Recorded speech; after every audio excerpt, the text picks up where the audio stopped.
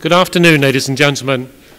I'm Peter Goddard, Director of the Institute for Advanced Study, and it's my pleasure to welcome you here this afternoon, this Institute lecture. After lecture, there'll be a reception to which you're all invited in Fuld Hall.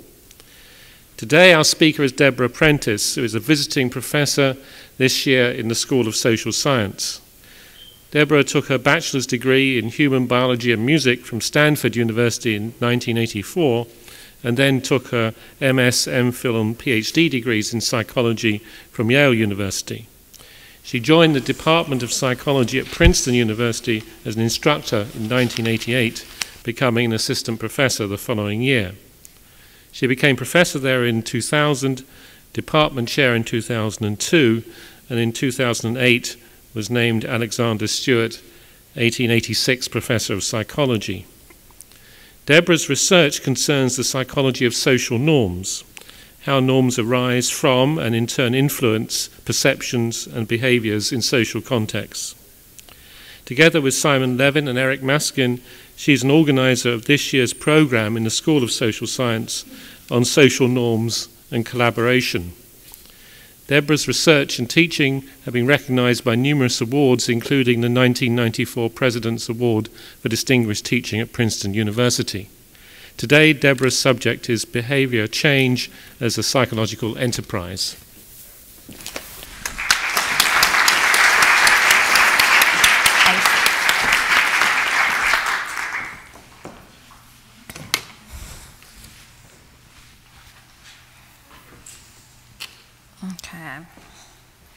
Can you hear me? Okay. Um, thank you very much. Uh, it's a great pleasure to be here. I'm having a fabulous year as a visiting professor at the Institute, um, and it's a pleasure to talk to all of you today. I'm going to talk today about how to change people's behavior. Um, that is, change it intentionally on a, on a broad scale, um, how to change behavior with a specific goal in mind.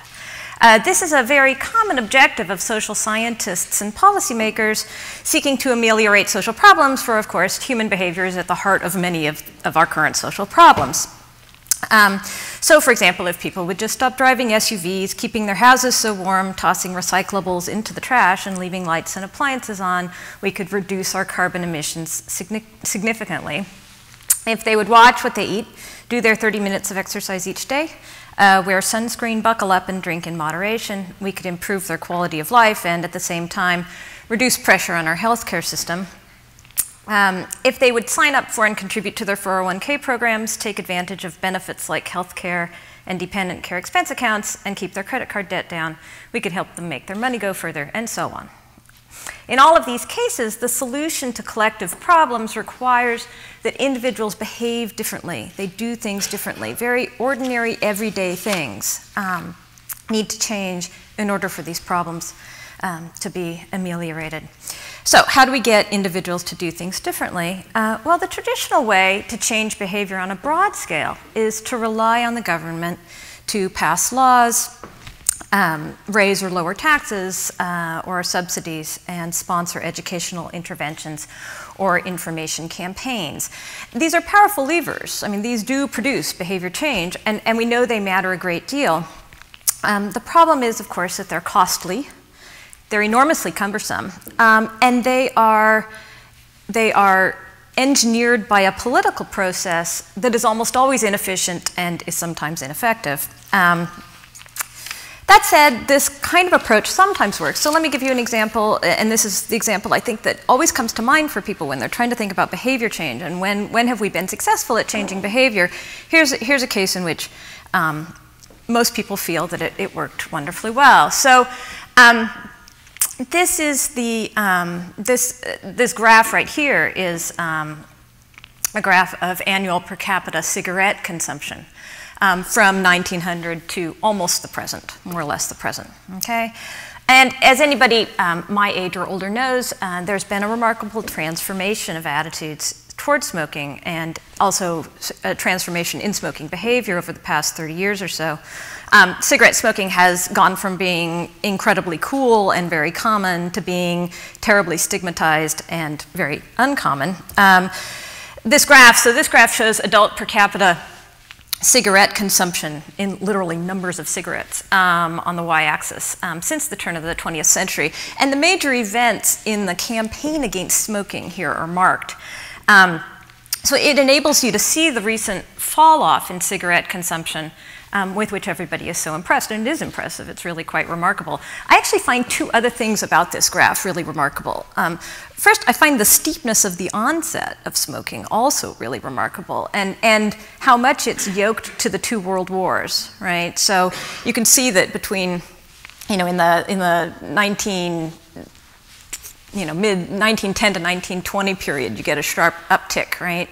Um, and then a, a, reduction with the Great Depression, which is interesting. I'm not sure what, what's responsible for that, but then a, a huge run up uh, up to the end of World War II. And that actually had to do with um, the successful efforts of tobacco companies, um, both to advertise to the masses and also to, to, to, market. I mean, having a smoke became what troops were entitled to, right? Um, and, and somehow they yoked smoking very much to, to what we owed our troops for their, for their service.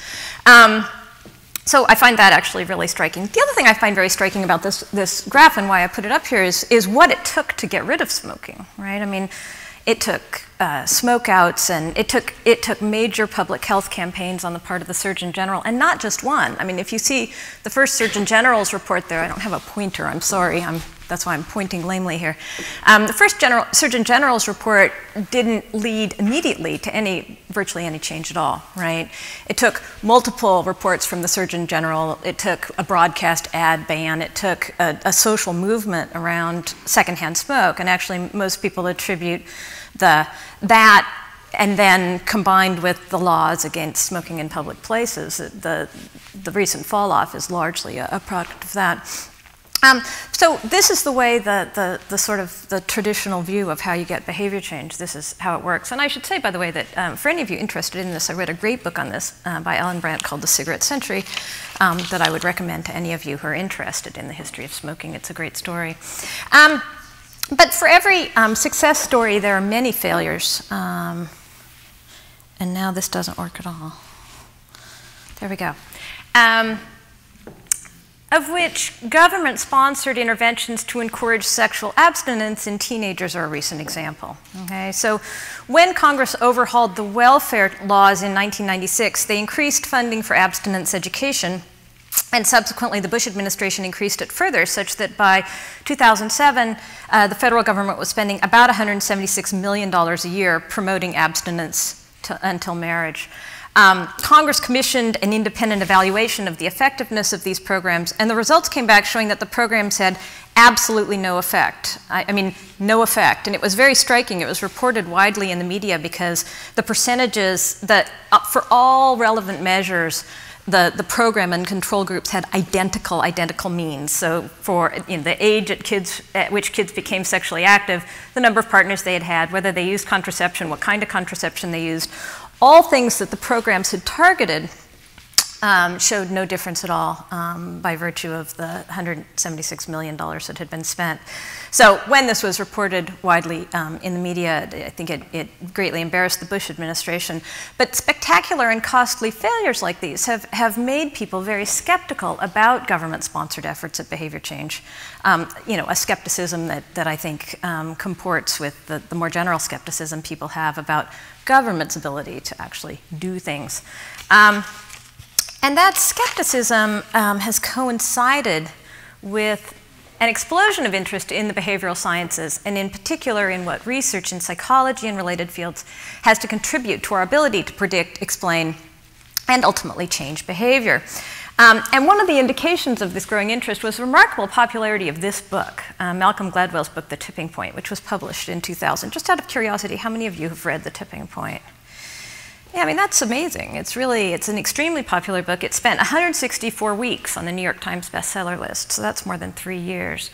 Um, and I put its cover up here because the subtitle of The Tipping Point, um, How Little Things Can Make a Big Difference, captures the essence of the book's argument um, which is basically, the, the book is basically a series of stories about how little things matter. Um, and I want to read Gladwell's summary near the end of the book. He says, Merely by manipulating the size of a group, we can dramatically improve its receptivity to new ideas. By tinkering with the presentation of information, we can significantly improve its stickiness. Simply by finding and reaching those few special people who hold so much social power, we can shape the course of social epidemics. In the end, tipping points are a reaffirmation of the potential for change and the power of intelligent action. Look at the world around you. It may seem like an immovable, implacable place. It is not. With the slightest push in just the right place, it can be tipped. Okay? And I think that summarizes very well the argument of the book and what people found so compelling. I think people found that argument immensely compelling um, and continue to. So, a recent book, written very much in the same spirit as Nudge, and there are quite a number in between, um, but um, Nudge, I think, is, is the most recent entry into this, uh, into this literature by Dick Thaler and Cass Sunstein. Um, and Thaler and Sunstein are explicitly concerned with designing interventions to change behavior. Um, they, like Gladwell, see this project fundamentally as requiring tweaks and nudges intelligently placed, right? So it, it, it's finding just the right lever, um, and it doesn't have to be something big. In fact, it's, it's better if it's small thing but the right thing. So they too believe that little things can make a big difference, um, and they too look to empirical research in the behavioral sciences, especially in psychology, to determine what the little things ought to look like. Okay. Um, what the popularity of these books signifies, in my view, um, is the rise of what I'm calling micro level reform here, which is social change pursued not through large scale interventions targeting laws and markets, but rather through small scale interventions targeting the immediate contexts of people's everyday lives. Pursued in this way, behavior change becomes a psychological enterprise, where the design of interventions are based on insights about human nature that are gleaned from psychological research. Um, so let me emphasize uh, that the, the goal of these interventions is not to change the people, okay? It's not psychology as practiced on a couch. Um, in fact, this approach is quite accepting and even forgiving of people's humanness, right, of their limitations, um, of their predilections. These interventions do not ask people to be virtuous. In fact, lurking at the back of these interventions um, is the belief that people can't do that, right? People can't uh, be virtuous, at least not all the time, not consistently. Um, what they can be all the time and consistently is people, right? Um, and so what we do, what we can do is we can take what behavioral scientists know about what people are like and say, okay, how can we organize the world to bring out the best in them, right? How can, how can we, um, how can we, or at least bring out what we want in them, right? How can we um, affect um, change through, um, th through changing the situations that people find themselves in, and therefore the way they behave as a consequence. So let me just highlight three features of these interventions that I think are important for understanding their popularity, um, among other things. Um, and that is these, these interventions are very decentralized. Anybody can do this, right? This is, this is something that uh, local school boards and grassroots organizations and, um, you know, individuals with an idea, um, many of Gladwell's stories in The Tipping Point are of individuals who had an idea and you know, figured out how to implement it um, at, at very low cost and, and sometimes even for free. You know, for, so, for example, one of his stories is of a, a nurse who really wanted to get people to have more cancer screenings and mammograms, um, and she was having no luck uh, disseminating her information until she took her campaign into the beauty salon, right, where she had this. Um, uh, this uh, ready uh, pool of um, receptive and not to mention trapped um, women um, and, you know, sure enough, she was a great success. It's a good illustration of the approach where, it, it, so it's, it's not about spending a lot of money. In fact, it's, it's sort of antithetical to spending a lot. It's minimalist, you don't have to do a lot. Um, and it's very, very decentralized. So uh, we can all participate in this, um, uh, but it, it, it, can be surprisingly effective, okay? Um, and I should note that the fact that these are grassroots efforts are, is both the good news and the bad news, you know, because there's, there's sort of pandemonium out there. I mean, lots of people are out there trying to intervene, and I'll talk about some of those efforts uh, along the way. Um, but the point is that it is very empowering, and I think that that, that sense of empowerment accounts in part for the, the rise in popularity of these kinds of interventions. Um, so let me illustrate the approach um, and its grounding in psychological research. Um, so one thing we know about people is that their choices are heavily influenced by what they take to be or what is given to them as the default option. Okay? Sometimes this is because they're too lazy uh, to make an active decision. Sometimes it's because they find deciding to be stressful or, or aversive in some way, um, as, and deciding is stressful, actually. Um, sometimes it's because they take the default option to be advice from the policymaker or from whoever designed the form, right? Um, and a good example of this predilection, one with important consequences, comes in the domain of organ donation, right? So here in the United States, um, the default is that you are not an organ donor. Okay? In order to become an organ donor, you have to fill out a donor card like this one. That doesn't seem like too much work, um, but even though 85% of people say they approve of organ donation, only 28% have actually signed the card. I mean, you do have to get a hold of the card, and you do have to you have to think to do it. I mean, there are at least small obstacles to, to getting this thing done. Um, so how do we know this is that, that this gap in percentages is due to a tendency to accept default options? It, it, may just be that people say they support organ donation, but they don't, they don't really, at least not when it's their organs. Um, well, it turns out that, that countries vary a lot in what they use as the default option. So some countries like the US have a no donor default, and other countries actually have a donor default. When you are born, part of you know, being born into a certain country um, is that you are presumed to be an organ donor and you have to take action to opt out. So there are opt-in systems like ours, and there are opt-out systems in other countries. And so what we can do is look at the effective consent rates across countries to see if the defaults matter. And these are the data for a sample of European countries. Um, so that's holding constant some number of aspects of culture, which also make a big difference in this. Um, and as you can see, in the, the countries in gold are the ones with a no donor default, the countries in blue are the ones with a, a donor default.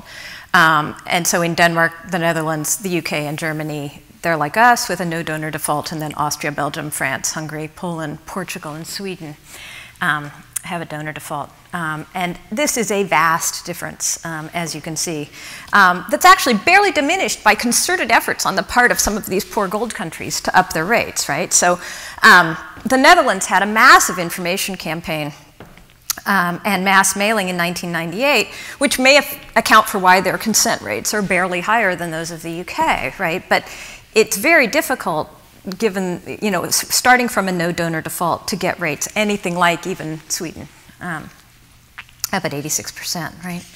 Um, so defaults seem to make a huge difference, um, and we can design defaults to try to, you know, put people in the right cell to start with. Um, this has been proven to be very effective, for example, in getting people to sign up for the retirement plan, the 401k plan um, in their organizations, making membership in the plan, a default option, um, greatly has increased um, participation in these programs, which are um, all to individuals' benefits.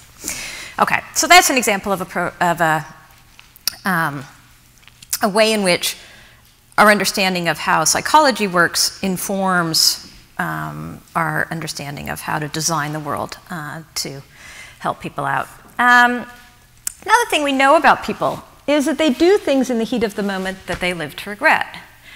Um, people are sometimes short-sighted, um, and they often lack self, self-control um, in, in many, many domains. Um, in, in, what they eat, in what they drink, and what time they get out of bed. I mean, you name it, right? And I'm sure that many of you are familiar with these self-control problems. Um, one domain in which this comes out is in email, okay? Many email messages reflect problems with self-control. Um, people send garbled messages, they send them to wrong addresses, um, they forget to add the attachment. Um, they also send angry and harsh messages that they would probably like to have back right after they hit send, or maybe five minutes later. Um, it's just, it's very easy to hit send um, in the heat of the moment. And um, that fact is responsible for a considerable amount of incivility um, that goes on, certainly in many organizations. I think um, part of why this example compels me is that I've been chair of my department for a very long time. And as a department chair, you see an awful lot of this. I mean, most of it is not addressed to me, fortunately. I'm merely copied. Um, but but there, I, I, can, I can attest firsthand to the fact that there's a great deal of, of harsh email that goes on out there, things that people would never say to each other's faces, right? I mean, it, it just would not happen in an, in an actual exchange. Um, so uh, this is probably why I'm attracted to uh, Thaler and Sunstein's suggestion um, that we capitalize on advances in automated text processing to develop a program that can detect angry or uncivil language in an email and give people an opportunity to think twice. Because oftentimes, I mean, it really is the heat of the moment, right? Uh, many times, all you need to do is is read it again, and you think, no, no, no, no, no. Um, so what they suggest is that, in fact, you have this program um, that automatically reads your message, um, and if it thinks it's uncivil, it gives you a message like this, right? um, or better yet, you know, for those of us who, need more help, right? Um, this is for the people. This is for the people who don't get over it in that minute. Similar suggestions um, actually include imposing a waiting period on divorces and marriages, and I mean, there are some places that have waiting periods um, on, on divorce, certainly. I'm not sure about on marriage, but you know, the goal is to try to get people not to do something impulsive that's going to be, that they're going to regret, and that in fact might end up being hard or impossible to undo. So there's another example. Um, a third thing we know about people is that they are highly social um, what they see other people doing exerts a very strong pull on their behavior.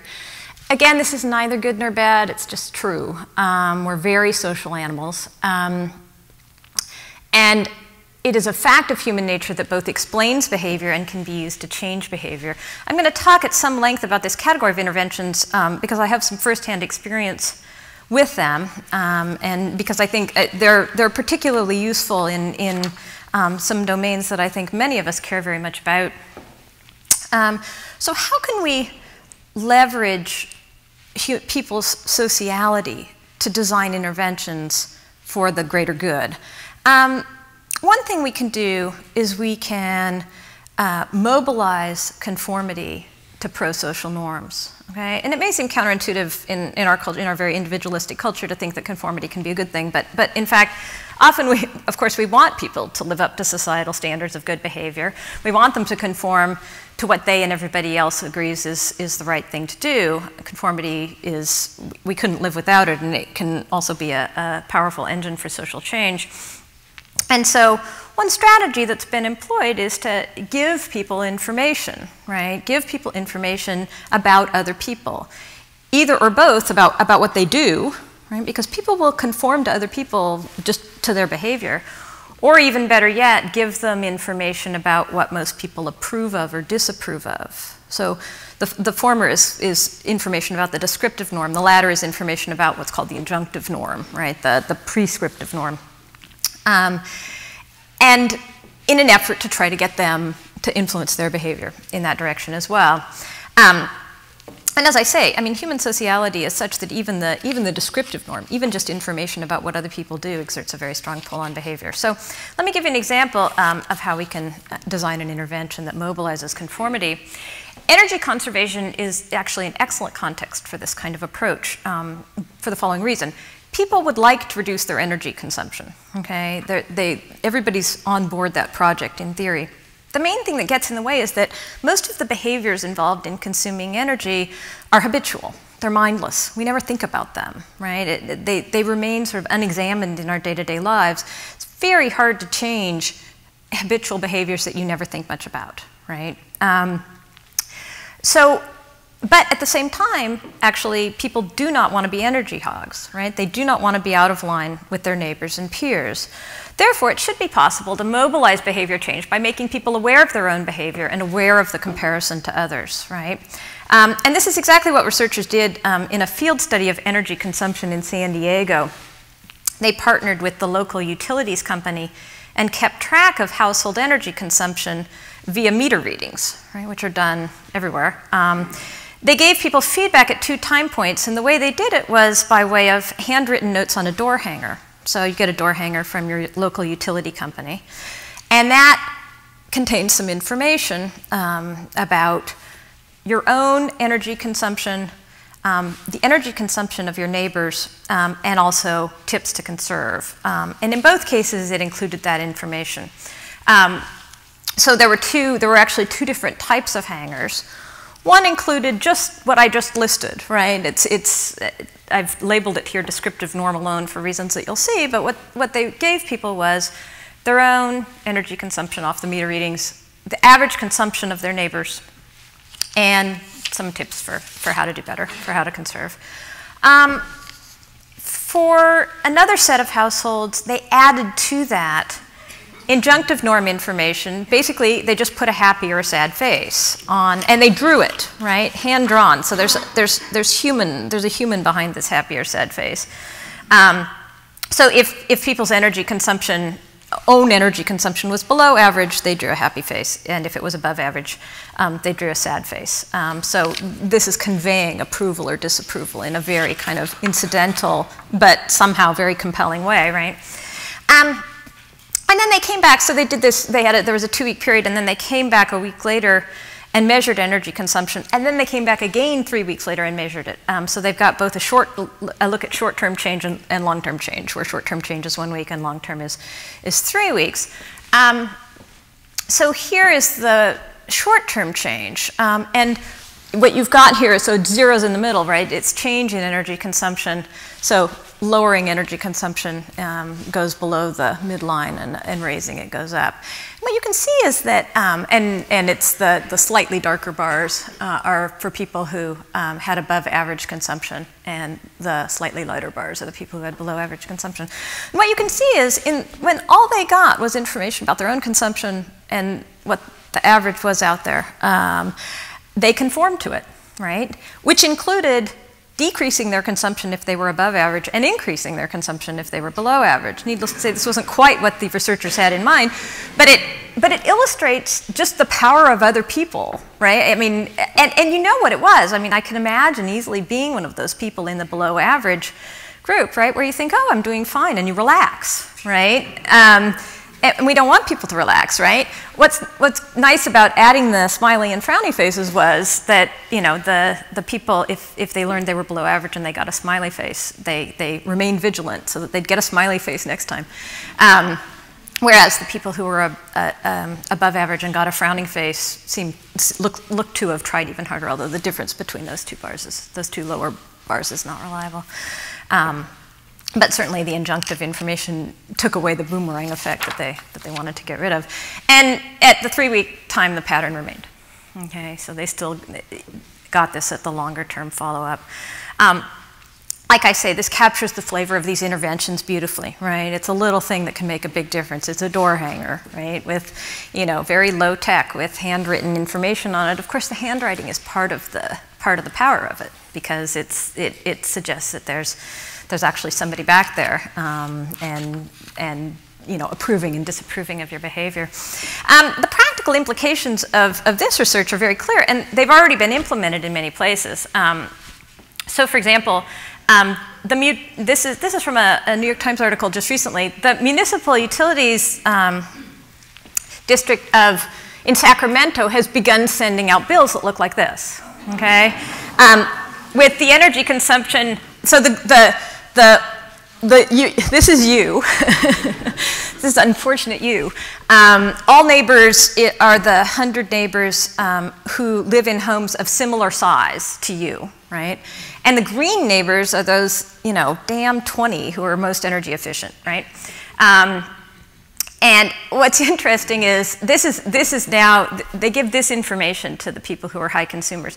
When they first started doing this, um, they put smiley faces on the good people and frowny faces on the bad people. And in fact, they put two smiley faces on the really good people and one smiley face on the people who were just below average and then frowny faces on the people. Um, but they had to actually stop using the frowning faces because the customers who got them got very upset and called the utility company. It, I mean, it, it, it does, the, the power of that disapproval is, is, is harsh, right? Um, so they actually still use the happy faces um, because they don't want it, you know, they don't want the boomerang effect, right? They need the happy faces to keep people from increasing their consumption if they're below average. But they've stopped using the frowns.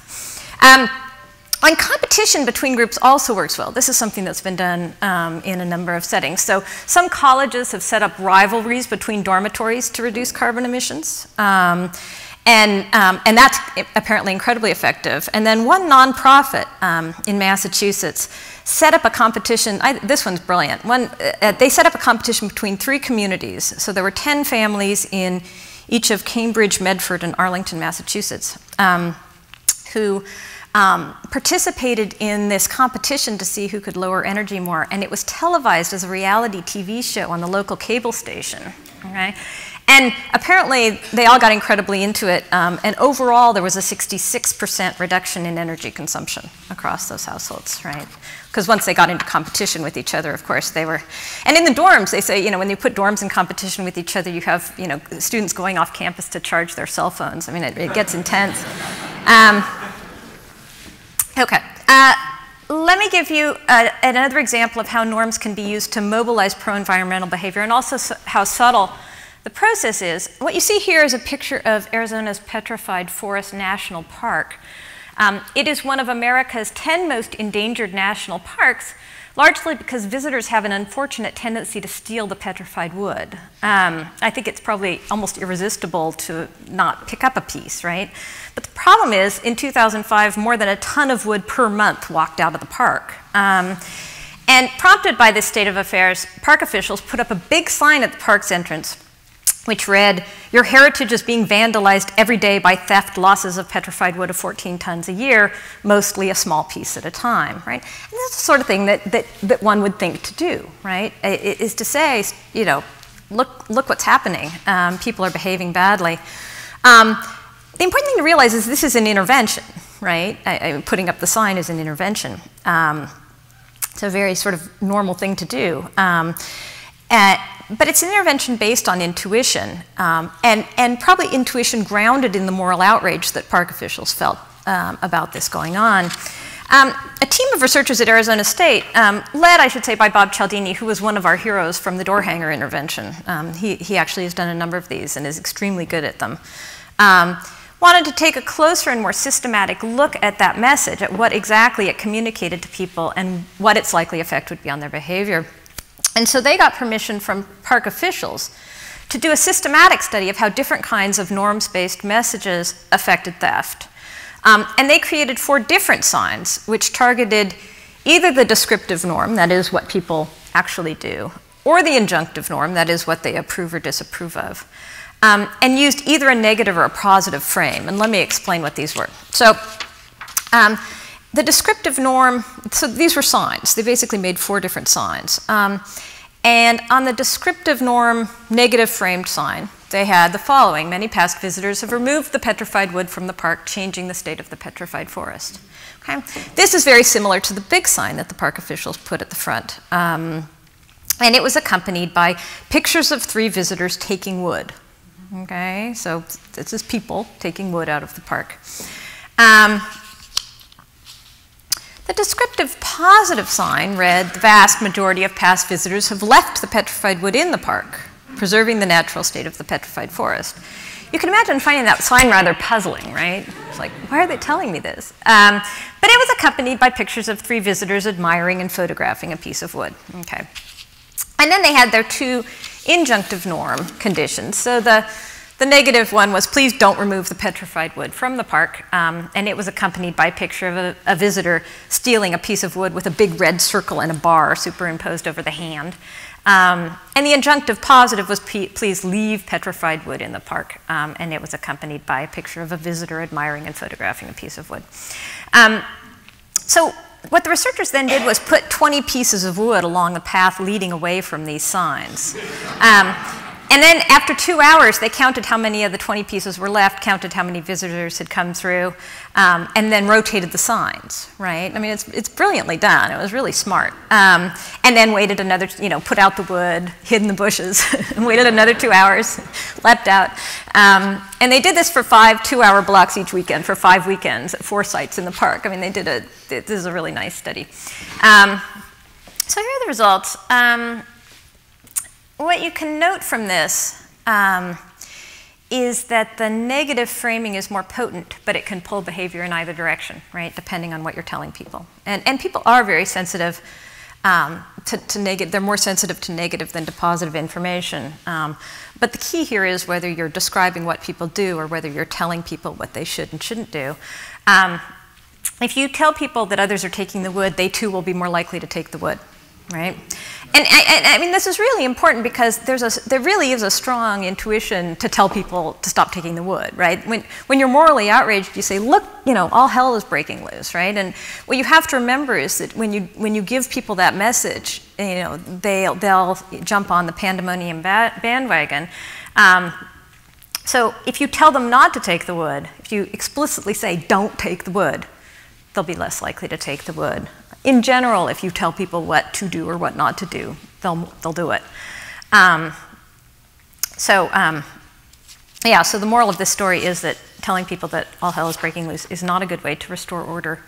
Um, okay, so the examples um, that I've given so far illustrate the fact that information about other people, both what they do and what they think is right and wrong, can be used to get people to behave in pro social, um, in these cases, pro environmental ways. Um, and it's people's tendency to conform that's the engine that makes this work, right? That's what you're mobilizing here, is people's tendency to conform to anything, to others, whatever they're doing. Um, but of course, sometimes conformity is the problem, not the solution, right? Um, sometimes what we want to do is to liberate people from a concern with others' views. Um, and this has given rise to a family of interventions that are designed to free people up um, from conceptions and sometimes misconceptions about what everybody thinks. These types of interventions, I should say, are especially well suited for use with kids from early, early adolescence really through to the end of college, because this is a period when people are surrounded by peers um, and they're highly attuned to what those peers are doing. It's, a, it's sort of the height of social influence, if you will. Um, and oftentimes what you want to do is free them up from that um, rather than binding them to it. I mean, what the environmental interventions did was bind people to what others were doing um, by making the information salient and making the comparison salient. But a lot of times what you want to do is to, to break that link. Um, and there are ways we can do that too. Um, one domain in which these norms-based approaches um, have been extremely popular um, is trying to reduce excessive alcohol consumption among college students. So as most of you probably know, college students drink a great deal. Um, most surveys suggest that between 40 and 50 percent of students binge drink in any given two-week period. So that's, that's a lot of, lot of, lot of liquor. Um, and the fact that binge drinking is strongly associated with social anxiety leads people to believe that they're doing it at least in part out of trying to conform, trying to fit in, trying to, um, trying to alleviate social anxiety. Um, um, through lubrication, but also through conformity to, to norms that are going to promote their, their standing among their peers. Um, and what surveys, including a number I've done, have, have shown consistently, uh, you know, across campuses, across space and time, uh, is that college students greatly overestimate their peers' comfort with this behavior. Okay? That is, um, individual students um, express misgivings about the most excessive kinds. Most, most of them are moderate. Actually, personal, private attitudes toward drinking are, are all over the map, right? There are kids who love it, there are kids who hate it. The average person is average, you know, is, is moderate. Um, there's great variability. There, there is no real sort of descriptive norm for comfort with drinking, right? Um, but students believe that there is. Students believe that everybody drinks heavily and that everybody's comfortable with heavy drinking.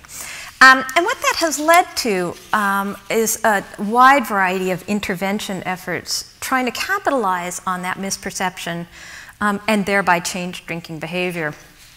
And um, most of these efforts have um, taken the following form, and it's called, it's, it's it's widespread enough to have a name, the social norms marketing uh, approach, um, and it, it, just to give you a, a, sense of how popular it is, about 25% of campuses have some kind of social norms marketing program around alcohol use. Um, so it's, um, again, it, most of these programs, a lot of these programs, the, the, typical thing that you do is you put up posters that look something like this. These are actually, uh, this poster um, uh, I, th I, thought was sort of clever, which is why I use it. Um, many of them are, are less um, sort of visually interesting than this one. I especially like the gender information embedded here with the, um, with the other information. But um, what, these, what these campaigns try to do is to correct people's misperceptions of the norms, right? So people overestimate the frequency and extent of drinking, and they and they overestimate people's comfort with drinking, um, and they then conform to those overestimates in their own behavior. What if we correct them? What if we show them that in fact drinking to excess is the is not the norm? Uh, it's it's a fairly uncommon behavior. Um, and and then they won't feel compelled to do it either. And you know, people disapprove of it. Some of the some of the uh, posters use injunctive norm information. Um, and, and then we can welcome them to the majority, as it says, right? We can, um, we can mobilize conformity, if you will, but to a more moderate norm, uh, and therefore they won't drink as much. At least they won't drink to excess. Um, there, there are, there's a, a now a, a, very large literature on this. I should say that, that many of these efforts are you know, conducted by student health groups. Um, somebody will hear about this research and some kids will print up some posters and put them up. And, um, and so um, it's a fairly uncontrolled world out there. Um, and then even fewer programs actually do any kind of empirical follow-up so that you can see how they're working. Um, but in the literature, at least half of the published results from these kinds of programs show either null results or actually some of them show a boomerang effect. And you figure if half of them are showing null results, given that it's virtually impossible to get null results published, um, there are a lot of unsuccessful campaigns out there.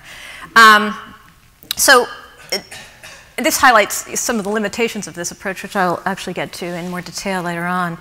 Um, but we had a different idea um, that rather than trying to correct the norm to which people are bound, right, we could capitalize on the fact, as I just said, that in fact, if, if you ask people how they feel about drinking, there is really no norm. People's views are all over the place. Um, and um, what we really want to do is not get them to conform to something more moderate, um, but free them up, liberate them from feeling like they've got to conform to fit in in the first place. Um, so that was the approach we took. Actually, um, a student of mine, Christine Schroeder, um, and I did an intervention at Princeton um, in which we um, had two types of discussions among first year students in the first week of classes. Um, in one set of discussions, the focus of the discussion was the gap between social norms and private attitudes. And, and that gap is so consistent and so reliable. If you ask students, how comfortable are you with the drinking habits of students at Princeton and how comfortable is the typical or average student or most students or your friends? In, uh, you know, 75 to 80% of people will say that others are more comfortable than they are, right? So it's a terrific tool for interventions because you can actually give them the questions and then show them their data, right? And it's a great way to stimulate discussion. Um, and versus the control discussion, we had students talk about uh, designated drivers and planning ahead and all kinds of more individual centered um, strategies that they could use to control their alcohol intake. Um, and what we found, we did a, a follow up four to six months later um, in, in, which we collected self reports of their drinking behavior. Um, and what we found was that the discussion of norms reduced drinking for both men and women. I've broken them out here because invariably you always get higher rates of alcohol use by men than by women. Um, but the intervention was, in fact, equally effective um, and this is just a simple, simple um, analysis of the means, but even using more complicated um, analyses where we controlled for various things and so on and so forth, um, the intervention was actually surprisingly effective, reducing alcohol consumption by about 40%.